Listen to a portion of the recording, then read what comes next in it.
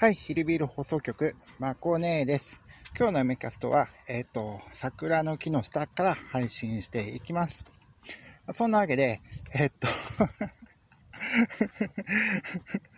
そう、あの、3日ぐらい前だっけ？いや、先週だった気がするんだけど、私は桜の、あの、桜餅の花の匂い、桜餅の匂いはわかるけど、桜の花の匂いはしない気がするあれは絶対人が作った匂いだと思うんだ、なんて話をしたのを覚えてます？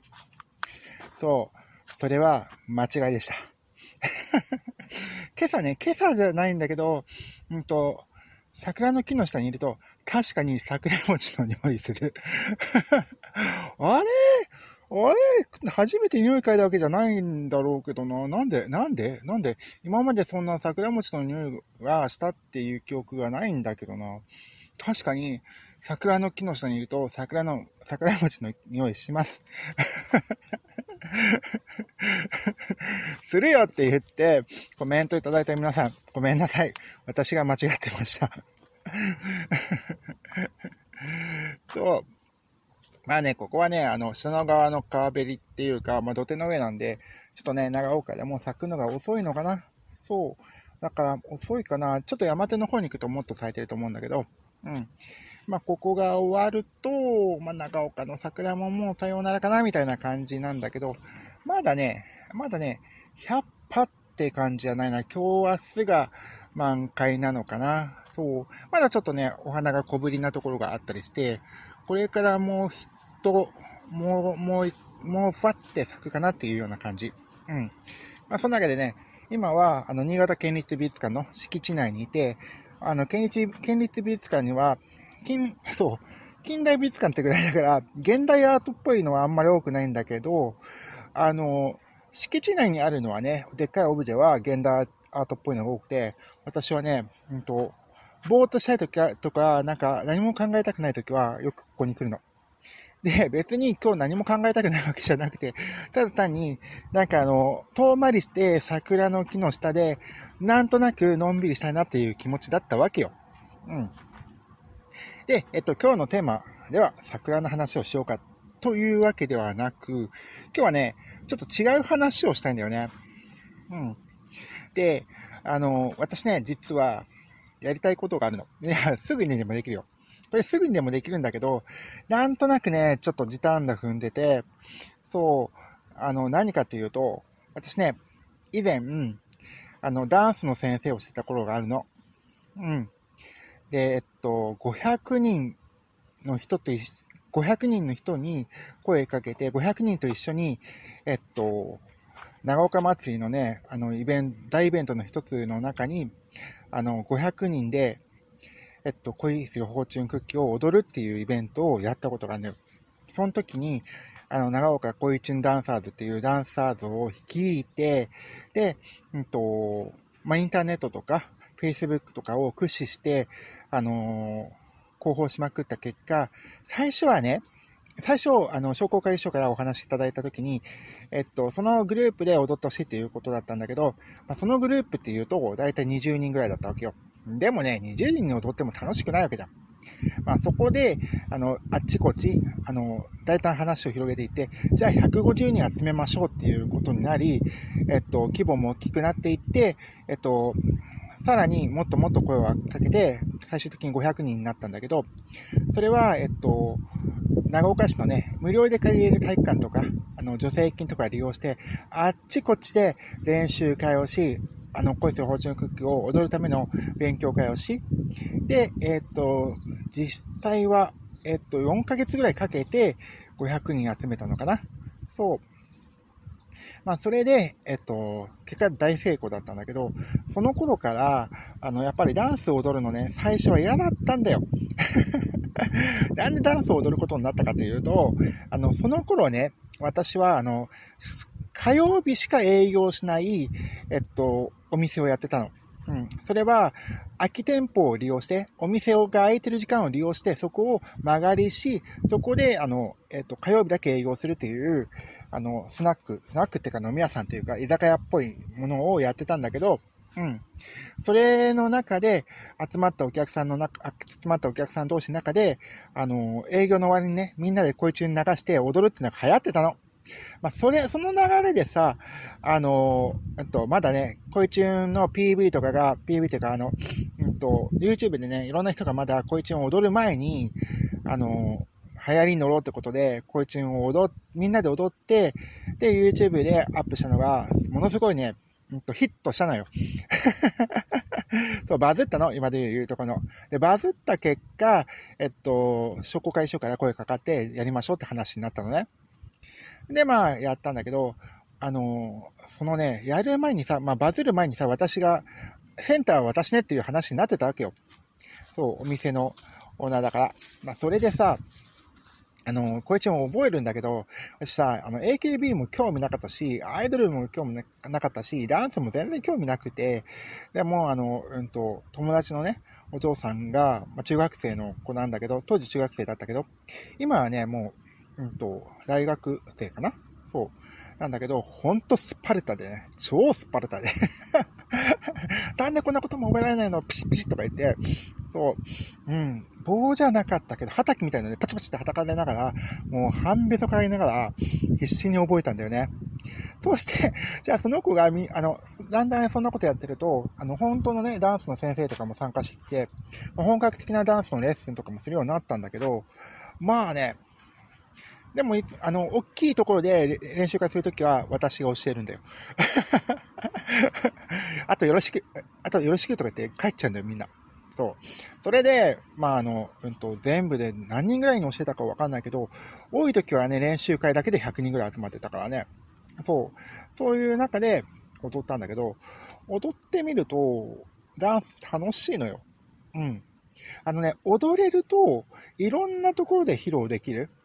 まあ、それがね、ずいぶん前に話したけど、日本舞踊を覚えたいんだっていう流れになってるんだけどさ、その中でさ、うんと、恋チンだけじゃなくて、あの、流行りものもいいんだけど、なんか、あの、踊れたら面白いじゃんっていう曲結構あるじゃん。そう。私なんかは、例えばさ、e ガールの踊るポンポコリンとか、そう、ちょっと古いけど、うんと、帝国歌劇団とか、そう、あの、うん、踊ってみたい曲、踊れるようになりたい曲、いくつかあるのよ。そう。そういう曲を、なんか、うんと、練習して、どっかで披露するようなことをやりたいなと思ってて、ずっとやりたいなと思ってたんだけど、うん。まあ、一人でできるじゃん。やろうと思えば。そう。ただ、あの、うんと、優先順位が高くなくて、で、まあ、ダイエットじゃなくて、あの、うんと、うんと、ダンスってさ、有酸素運動じゃん。そう。だからさ、あの、私の体がもうちょっとね、あの筋肉を戻、筋肉が戻ってきて、えっと、動きやすい体になってからでもいいかなと思ってるの。うん。そう。まあさ、小石ダンサーズやってた時も今の体型とそんなに変わらない。いや、もしかしたら今よりでかい。いや、でかいな。そう、小一ダンサーズやってた頃の写真とか見ると、ほんとでかいから。まあ、それで、うんと、やってたから、まあ今でももちろんできるよ。でき、踊れる、こいつが踊れるよ。たまに踊る時ある。酔っ払ってとか。そう。うん、頼まれたりして。そう。まあその頃、こいつやってた頃はいろんなお祭りも参加したし、あの、うんと、老人ホームとかの慰問とかも行ったしね。まあ楽しかったのよ。うん。楽しかったからまたやりたいんだけど、まああの、うんと、今は、それよりね、えっと、16時間断食に、で、あの、自分のね、生活リズムをしっかり組み立てていくってことが最優先だから、まあね、あのー、あれこれやっちゃうと、結局みんな中途半端になっちゃう。だからまあ、もうちょっとほっとくみたいな感じ。うん。そんな風にやりたいことあるのよ。他にもね、ギターも中途半端になってて、ギターもね、うちでギター眠ってんのよ。でも、うちの部屋はさ、そんなに広くないし、隣のさ、あの、うんと、声が聞こえるぐらいの スースのさ、安いアパートだっけさ。だから、うん、あの、部屋でギターは無理なのよ。それでさ、ヤマハのサイレントギターを買おうかなと思うんだけど、あの子7万ちょいすんのね。あ、中古でもいいと思うんだけどさ、まあ、うんと、まあ、中古でもね、やっぱ弾がないわけよ。うん。で、まあ、7万か。もちろんさ、まあ、あの、うんと、まあ、2ヶ月ぐらい頑張って、コツコツ生活して、まあ、2ヶ月分のうちのから7万を出そうと思えば出せるさ。出せるけどさ、うーん、じゃあそのギター買って今練習する時間を取れるかというか、取って、それを優先順位の中に上げられるかって言ったら、いや、そんなことはなくて、そう、どっちかと言ったら、今、あの、うんと、やり始めてる YouTube、再開した YouTube もそうだし、まあ、このさ、キルビル放送局は、あの、ようやくリズムが取れるようになってきたよ。まあ、あの、うんと、4月はこのリズムのまま、あの、現状維持で、そう、朝の6時からのやつ、で、お昼のこの10時からのやつ、12時からの、えっと、ダイエットのやつ、そして、あの、えっと、週1回の映画のやつ、で、週1回の、あの、うんと、ダイエットの反省会あそれを、まあ、今月は、あの、継続していって、まあ、もうちょっとリズムをしっかりしていき、内容も、えっと、充実していきたいなと思ってるけど、もう一つの、そう、マコイズムの方の、あの、やつがね、あの、あっちはさ、日本語ないわけよ。そう。日本語ゼロなわけ。そう。で、あのショートムービーはそれなりにアクセス取れてるんだけど、あの普通のね、メインの、あの、YouTube が全然惨敗なの。うん。で、今ね、あの、メインの YouTube の方もショートも両方、あの、視聴者数じゃなくて、視聴者数もそうだけど、再生時間も取れないと収益化にならないのよ。そう。で、ショートの方は十分収益化の基準までいってるし、登録者数も順調に伸びてるんだけど、でも普通の YouTube がダメなのよ。まあそこで今月は、あの、そちらの方に、そう、そちらのあの、うんと、マコイズムの方にちょっと力を入れて、手こ入れしていって、あのー、しようと思ってるから、まあ、あの、そんなこと考えてると、やっぱり優先順位遅くなっちゃうね。だ、あの、ダンスもギターも。そう。その中でやっぱりやりたいことって優先順位っていっぱいあるけど、まあどれも楽しいからね。楽しくないもの何もないし、楽しいことしかやりたくないから、そう思うとね、ギターもダンスも、まあまあもうちょっと あの、うんと、とりあえず、これから1年は、無理かなもしかしたら、あの、みんなと約束してる3年間終わるまでは無理かもしれないな でもさ、うんと、ダンスもそうだし、ギターもそうだけど、やらないと、どんどんどんどん下手になっていくんだよね。そう、それは間違いなくて、そう、だから私さ、あの、うんと、あったかい時期はさ、外でギター弾けるから、あの、土手とかにギター持って行って弾いてたんだけどさ、そう、冬になると、まあ、家の中でギター弾けないから、そうすると、毎年春になると初心者に戻るの。で、毎年秋口になると中級者ぐらいになってるんだけど、春になると初心者に戻るのを繰り返して。もう、もう、もう、もう、もうそんな連続よ。そう。だから、うんと、ギターは ねえ、どっかで決めて、あの、サイレントギターを買わないといかんとは思ってるんだけど まだね、優先順位はそんな高くない感じかな。そう。で、ダンスの方も、ダンスの方はもっと簡単よね。そう、私の部屋にある兄弟のあの鏡は、あの、ほぼ全身映るから、ちょっとね、場所を移動して、あの、音楽をね、イヤホンで聴きながら練習しようと思えばできるんだけどさ、うん。そう。まあ、1日1時間も練習すれば、あの、1曲ぐらいね、多分ね、あの、本当1週間もあれば覚えられると思うんだよ。そう。で、まあ、うんと、それでもいいんだけど、思うんだけど、なかなかね、一人ではってところで、ちょっと、それも、は、仲間を集めながら、ちょっと仲間でやっていくっていうような流れにしたいんだけど、そうするとね、そう、あの、私の気持ちでやりました、終わりましたってわけいかないわけだ。だから、うんと、そこに、そこにボリュームアップしていくには、ちょっとあの、うんと、もうちょっと時間をしっかりいや、あの、うんと、すべてのね、あの、YouTube もそうだし、16時間断食もそうだし、まあ、すべてのバランスが取れるようにならないと、ちょっと無理だなっていうふうに思ってるわけ。そう。そうするとさ、ぶっちゃけ？ギターも、えっと、ダンスも、まだまだ先になっちゃうわけよ。うん。まあそうやってる中でね、あの、またやりたいことってどんどん出てくるし、あのね、あの、変わっていくから、いずれあの、うんと違うものの方に夢中になっちゃってってことは、私の場合はよくあるよ。うん。だからまあ、あの、それすら、あの、約束ってわけじゃないけど、やりたいって気持ちだけは十分あるし、そう、なんだったら、うんと、ジャズがやりたいのね。そうそうそう。あのね、私、サックスにね、憧れて、でもね、サックスね、一回も音が出たことないんだよ。まあ、持ってたこともないんだけど、試してみても音が出たこともないの。そう、トランペットもそう。吹奏楽のセンスがないような気がする。うん、まあ、あの、人に教えてもらったことがあるわけじゃないから、見よう見まねでやってみたってだけなんだけどね。うん。だもう、あの、うんと、ジャズ、ジャズってさ、あの、メインの曲があるのを自分流に崩しながらって感じじゃない？まあそういう意味ではさ、うんと、私のさ、トークライブなんてジャズみたいな感じでしょ？フリージャズみたいな感じだよ。そう。今まだ本当にさ、桜の木を見ながら、えっと、ああ、喋りたいこと終わっちゃったけど、これはこの後どうしようみたいな 感じで途方に暮れてるんだけど、でもさ、あの、桜の花を見ながら、あの、パって思えば、あの、喋りたいこといっぱい出てくるわけ。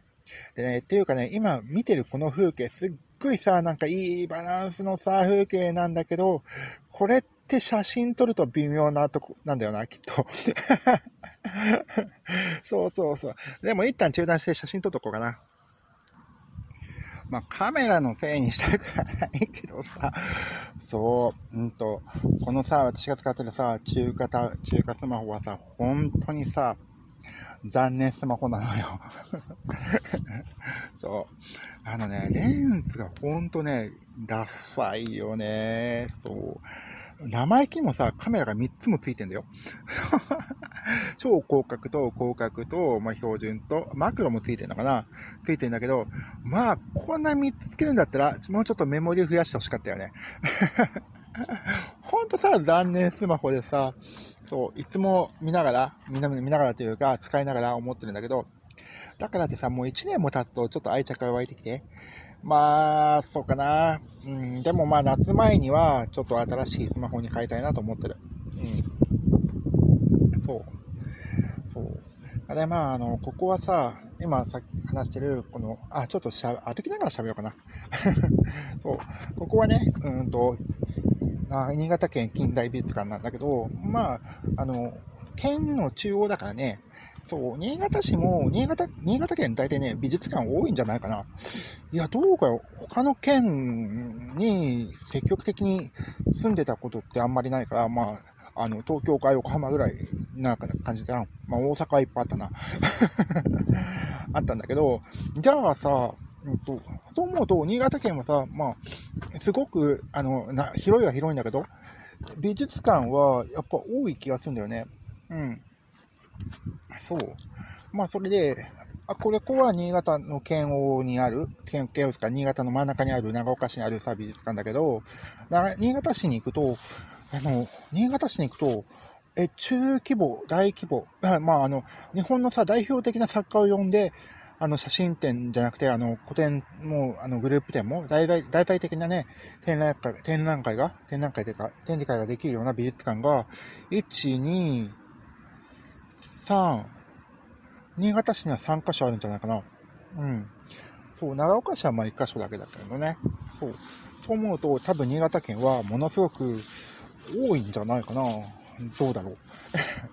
で、小さい、あの、その代わり小さいギャラリーとかがあまりないかな。以前はあったんだよ。以前はあったんだけど、もうここ20年ぐらいでもう激減したよね。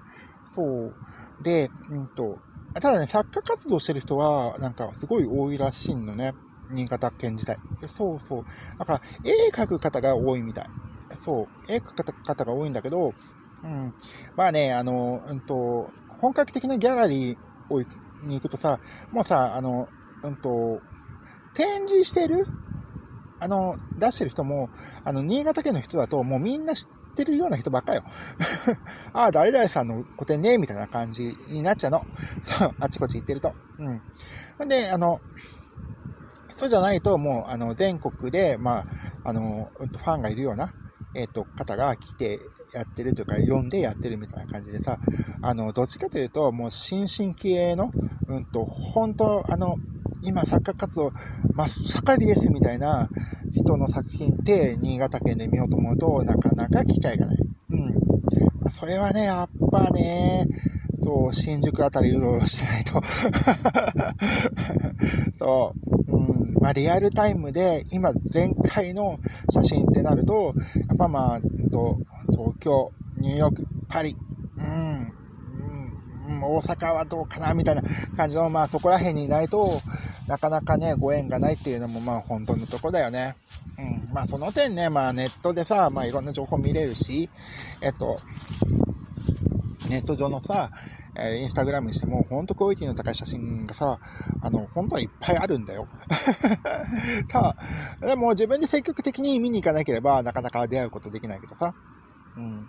そうやって、えっと、私はね、あの、うんと、今は、ポッドキャストと、あの、もう一つの、アコイズムをやってるけど、実は、あの、うんと、もともと、いろんなあのネット上で知り合った写真家の方、クリエイターの方と対談するチャンネルをやりたかったわけ。うん。やりたかったっていうか、まあ、そのうちやろうと思ってるけどね。今すぐやらなくても。うん。まあ、あの、あと、ねあの、機材もほんとさ、スマホ1台で、あの、本当パソコン1台とスマホ1台でやってる程度のものだからさ、そう、これから、あの、そういう風に展開していくにあたって、いろんなね、経験値をここで積むことが目、ここで積んで、そこにフィードバックしていくっていうのが、まあ、私の今後の目標の一つなんだよね。うん。そう。まあ、その中でさ、どういうやり方がいいかなって悩んでたところで、ポッドキャストっていうのを、あの、発見してさ、あ、なるほどね。これだったらすぐできるって思って始めたのよ。うん。そう。まあ、それと同時ね、16節間断食っていう ものが、なんか私の中にスッと入ってきたって感じなんだけどさ。そう。いや、なんか、いや、気持ちいい、ここ。いやー、こういう景色を見てるときに、やっぱムービーで撮ればよかった。すごい思うんだけどね。いいの？うん。今、えっと、あの、美術館ね、ここの美術館、あの、屋上からね、中に入るルートがあるんだけど、そう、今は開放してないのかなうん。そこに今上がってきて、ほんとね、あの、砂の川を見渡すというか見下ろすっていう感じ。そう。まあね、や、やっぱりね、やっぱり思ったよ。やっぱり思ったよ。あのピンクの桜、ほんと綺麗。かわいい。うん。いや、あのさ、このピンクの桜が嫌いな人は多分いないよね。絶対いないと思うわ。やっぱね、やっぱ誰でもさ、このピンクの桜を見てると、心躍るもん。そう、ふわっとなんか気持ちになる。あ、風が出てきた。うん、どうしよう。そう、一旦停止。はい、あれから 中断してる間、えっと、どうだろう、15分、20分ぐらい経ったのかな？そう、えっと、国道8号線。8号線って言ってもまあ意味わかんないかもしれないけど、線は東京の日比谷からずーっと繋がってて、新潟県長岡市まで繋がってます。はい。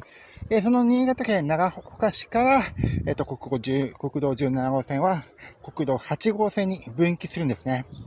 で、その分岐地点が、こっから、えー、っと、そうだなどれくらいだろう。うんと、5キロぐらいかな。もうちょっとあるかな。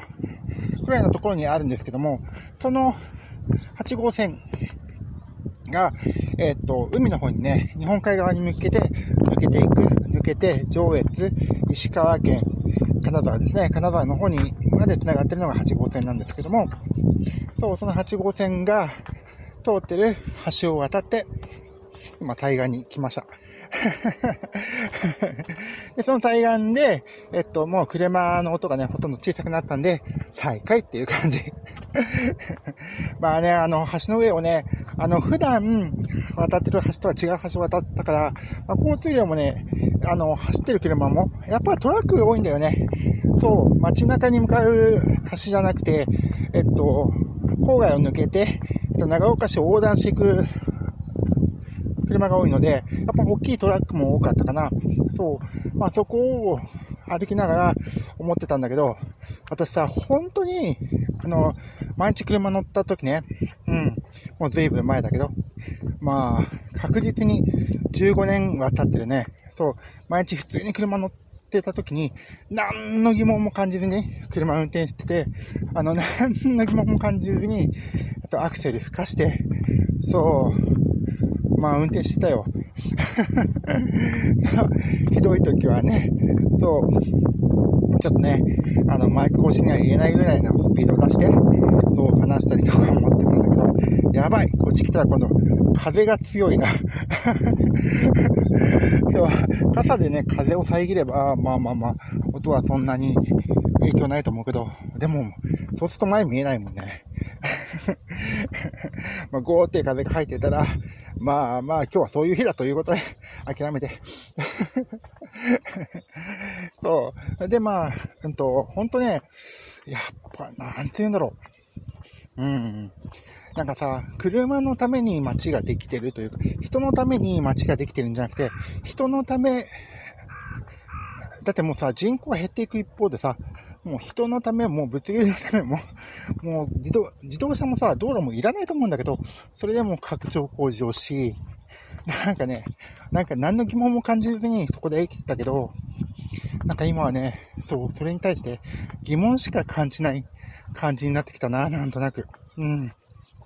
そう、今はさ、もう、もうね、今これから先、そう、どうだろう。確かにさ、そう、幸運期トレーラーとかで旅したいとは思うんだけど、でもなんか、なんかさ、それ自体も、やっぱりモーターサイクルというか、エンジン付きのさ、何かで行動するのは、なんかもうダサいよね。そう、なんかそういう風にさ、うんと、思えてきたな。今、この土手を、土手てか、あの、国道の横をね、歩いてて。まあ今、サクサク言ってるのはね、ちょっと草の上を歩いてるんだけど、そう、私のね、そう、山菜畑をさ、そうそうそう、よろっとさ、なんかちょろっと、あの、そう、私のご飯、ないかな。そう、あれ？どの、どれくらいの時期だっけ？いや、そろっと出ててもおかしくないと思うんだけどな。来ないなそう。うん。またいでみる？どっかないかなそんなに。そう。あ、ま、真冬はね、多分ね、水に浸かるぐらいのところなんだよね、ここ。よっこらせ。よいしょ。よいしょ。よいしょ。そう。出てないなそう。まあ、山から流されてきた山菜が、あの、根を張ってて、で、そっからね、あの、山菜がね、取れるのよ。また、いや、まだ早いのかなええー、そうだっけ？そんなに遅かったっけね？そう。いつもさ、なんか、なんとなく、通った時に、あ、あったって言って、て、あの、いてててて、そう、帰ったりしてたから、え、まだ早いのかな？え、全然ないね。そう。株、でっかい株がドンとあって、その株から、あの、ちっちゃい葉っぱの、そう、下、しだけのね、しだしだの葉っぱが出てくるんだけど、そう、まだそのしだしだの葉っぱが出てくるところも、そう、見てわかんないぐらいボーボーだな。あれ？ないな。そう。まあ、天ぷらにしたら食べれそうな葉っぱはいっぱいまだもう生えてるんだけど、そう。かといって、そう。うん。なんか天ぷらはね、またね、まあ、ごっつく油吸っちゃうからさ、ね、ちょっと、あの、今は無理。先週、多分私の体重は今さ、ちょっと、えっと、100、今日朝は101.8ぐらいだったかな。そう、まあ、昨日、先週さ、101だったから、ね、先週の週末101だったから、まあ、それに比べるとさ、今ちょっと戻ってるじゃん？そう、まあ1キロも戻ってないけど。だから、まあ、もしかしたら、先週の天ぷらが、よっとか、戻ってきてるのかなとか、思うわけよ。そう。うん。ないね。ないわ、まだ。あれ？そう。そう。ええー、梅雨前だったっけ？あれ？でももっとボーボーだった気がするよな。あれ？どこだったかな？いや、まだ先だわ。そう。これ一週間ぐらいじゃ、あの、解決するようなレベルじゃない気がする。そう。まあでも週1回ぐらい見に来ないと、よっこら、て、そう、気がついた時にはもうさ、もう、もう、もう、もう、もう、もう伸びきっちゃって、これどうやって食べんのぐらいになっちゃうんだよね。そう。まあまあまあ、今日は、今日は諦めるかな。そう。絶対にない空気だもん。そう。うん。歩いてても絶対に、絶対にありませんっていう空気だもんな。うん。あここら辺ね、ああ、よもぎの若葉がある。ああ。でもこんなのいっぱい取った。いっぱい取らなきゃ食べれない。そう。うん。まだだな。まだな。でも、よもぎが大きくなる前だった気がするんだよな。へえ。そう。いや、このさ、今履いてるさ、パンツではさ、なんかその藪の中入る勇気がないな。そう。なんかもう、それでボロボロになっちゃいそうだもんな。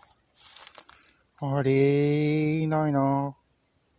そう、ここじゃないんだけど、つくしはもう結構生えててさ、でもつくしってさ、あの、傘のところさ、取るのがめんどくさいじゃん。そう、つくしでさ、かき揚げ作ったら、もう美味しいんだけど、いやでも、かき揚げ作るほどつくしをさ、剥くのはほんと嫌だ。だから、そう、もいですぐ食べれるようなのがいいんだけど、うーん、微妙。そう、今日帰ってからさ、ちょっと調べてみよう。そう、そう、うん。そうだよ。チャット AI に聞けばいいじゃん。そう、あの、そうすればさ、今こういう状況なんだけど、どうかな？なんていう風に聞けばさ、多分答えてくれると思うんだよね。ないね。もっと株がポコって膨らんでくんだよね。株がさ、あの、歩いてて見てもわかんないってことは、いや、まだだと思うんだ。まだ根っこの下でさ、ぬくぬくしてんだよ。春じゃないかな？もうちょっとかな？とか言って。そう。あららららら。残念。どうしよう。そう。えっ、ー、と、今日家帰って食べるものと言ったら、キャベツと、そう、まあ、生姜とね、ニンニクぐらいはいつものがやつがあるけど、そう、あと、なんだ、そう、メインはキャベツとほうれん草があるかな。そう、キャベツとほうれん草だけじゃわびしいよね。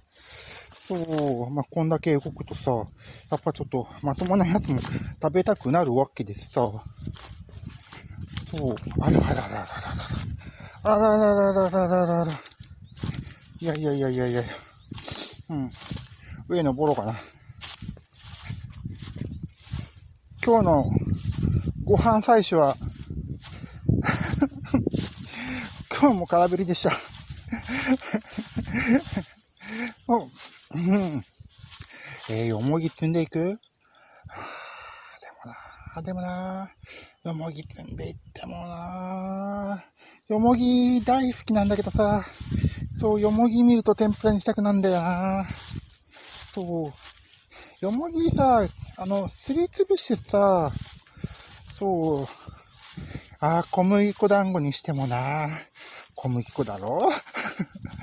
小麦粉は無理だよ。だって GI 値高すぎるもん。うん。同じ理由で、そう、ちょっとあんま最近人参も食べてないんだけどさ、そう、まあ、鳥が飛んでいった。ここら辺だったかな。でもこの上から見るんじゃまだだよね。あれでそう。あれれれれあったかも。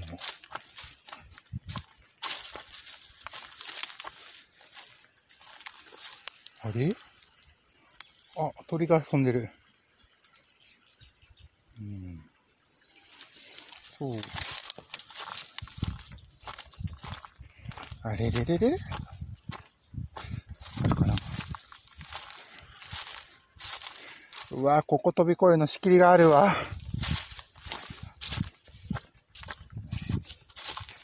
そう。ここはいけそう。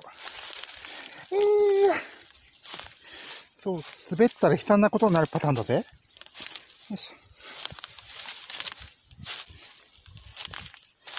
うん。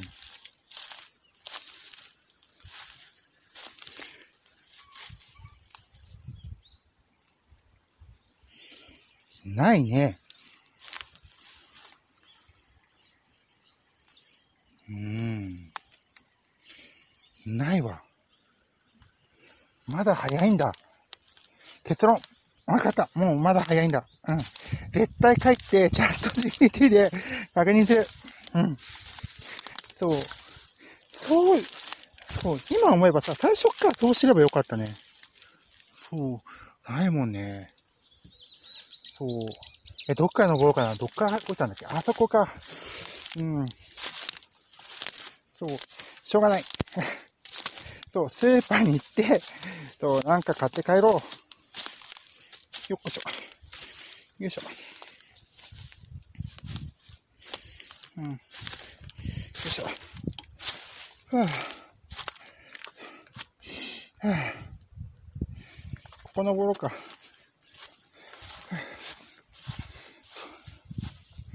うん。やさ、葉っぱ、ここら辺で生えて葉っぱどれ食べてもさ、食べれるけど、でもさ、美味しいかったら微妙なんだよね。食べた、食べたことある人しかわかんないと思うけどさ、そう、ね、目の前の鳥屋で何でも食べてみたくなって、あ、つくし、若いつくしがいっぱいある。ああ。そう。なんだここら辺さ、吹きの塔が入んないんだろう。もう生えてももう終わってるか。はあ、よいしょ。よいしょ。やっと山を登ってきた。はあ、はあ、水道公園の桜はまだだね。ふう。よし、こっから、はあはあよいしょ。どうしよう。えっと、こっから、じゃあ、魚六行こうか。魚六どこだっけ？え、この距離だとどこ？あっちだな。よいしょ。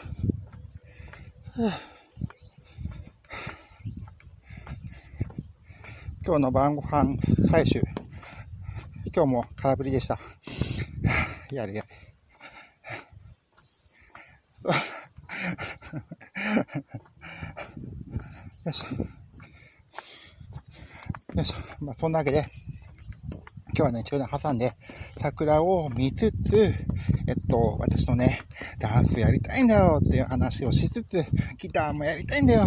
でもさ、でも優先順位って違うよねっていう話から、えっと、と、ちょっと休憩を挟んで、えっと、ひとっ飛び、土手をまたいで で、え、っと、またいで、で、そして、今は、えっと、長岡市の水道公園までたどり着いたと。で、今日はこれで配信を終わりにしたいと思います。うん。というのはさ、なんかもう、疲れた。で、これからスーパー行って、スーパーで買い物して、帰ってご飯食べて、そして今日は、今日はね、もう、もう、ほんと、昨日ね、やっぱりね、ちょっと寝不足だったから、早く寝よう。そう。しかも昨日は、あの、ほんと、睡眠時のね、測定タイマーをセットしないで寝ちゃったから、昨日ね、どれくらい寝たかわかんないんだよね。セットした気がするんだけどな。そう、途中で止まっちゃったことある？ないと思うんだけどな。うん。まあだから、まあ今日はね、しっかりタイマーも確認し、で、ゆっくり、ゆっくり寝ようかな。そう。今頭にね、ちらっとお酒飲もうかなと思ったんだけど、いやいやいやいやいや、ダメダメダメ。お酒もタバコも大好きよ。私、お酒もタバコも大好き。うん。タバコはね、パイプと葉巻が大好きなの。そう、言いづらいけど、そう、日本にね、そう、そう、緑が合法だったら喜んですよ。そう、香りの強いタバコとか大好きなんだよ。そう。逆に普通のさ、あの、どこでも売ってるような紙巻きタバコ、あれは嫌いなんだよ。臭い。臭い。臭い。具合悪くなるほど臭い。そう。だからもうね、ああいうの吸ってる人のそばに行っただけで、うわ、くっさ、この字とか思っちゃうんだけど、うん。そう。でも、タバコは好きよ。そう。そう。だって、葉巻とかパイプとかすっごい香りいいからね。そう、もう、もう、とろけちゃいそうなぐらいいい香りだから、ああいうのは好きだけど、ほんと紙巻きタバコは臭い。臭い。臭すぎて、本当に臭い。だから、まあ、紙、紙巻きタバコは、まあ、たまにね、たまに私はショートホップが好きだから、ショートホップ、ピースが好きだから、まあ人に一本トライみたいなこともあるし、まあ、あの、前もね、ね、一回ぐらいピース箱を買ったりとかさ、してたけどさ、うん、してたけど、そう、今はもうね、16期間断食始めた時に、これは私の体に必要ないものだっていうふうに認定した。うん、だからタバコもやめた。そう。で、お酒もやめた。そう、お酒も大好きよ。特にね、嫌いなのは嫌いになってるっていうか、体に合わないのは梅酒ぐらいなもんで、それ以外のお酒は大好き。そう、うん、蒸留酒が好きよね。ラム、ウイスキー、バーボン。そう、茶色い系のお酒大好き。特にね、そう、糖類のね、糖質とかすっごい高い、そう、ラムがすっごい大好きなんだけど、それも、もう、お酒をやめて、そう、ジンも好きね。そう、松ヤニのお酒、ジンも好きだし、サボテンのお酒、そう。あれサボテンのお酒なんだっけ？えあれ？あれ？出てこないぞ。もう忘れちゃったか。そう、なんだっけ？え？え、え、うんと、サボテンは出てくるのに。え、なんだっけ？まあ、サボテンの酒。うん。それにウォッカ。そう、みんな好きよ。ね、もう、でも、お酒も私の体にはもういらないもの。うん。だからやめちゃいました。そう。まあ、ぶっちゃけね、あの、ダイエットに限らず、お酒飲んでいいことないのも知ってる。そうそうそう。まあ、しっかり栄養素取れてて、ここのバランスも今取れてるから、そう無理して、えっと、そういったの飲まなくても、嗜好品走らなくても大丈夫。だから、タバコもお酒もやめました。これ青になるのかなあれ、ほんだった。うん。そう。あと16時間断食でやめたものなんかあったかなそう。え、やめられなかったのはあるよ。え、現在進行でやめられてないのは、まあ週1回ぐらい菓子パン買っちゃいます。しかもセブンイレブンの。もう本当に悪魔だよね。そう、行くたびに新製品が出てるあれ本当やばいって。まあ、そんなわけでですね、うんと、最後は私のそう、16時間断食でやめたお話になりましたが、今日はこれで終わりにしたいと思います。最後までご視聴ありがとうございました。長岡のね、桜見は、まあ、あともう2日3日は安泰かな。そう、私はね、そう、やっぱね、満開の桜はいいけど、あの、咲く前も咲散るところも、まあ、実はあんまり好きじゃない。なんかね、そう、あんま綺麗に見えないんだよね。そんなわけで、今日も、まこねでした。ちょっと息が切れてるね。じゃあね、また明日、バイバイ。